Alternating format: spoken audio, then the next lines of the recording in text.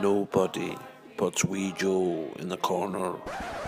Now I need you to show me wonderful character, Joe, because you're a beautiful human being with wonderful character.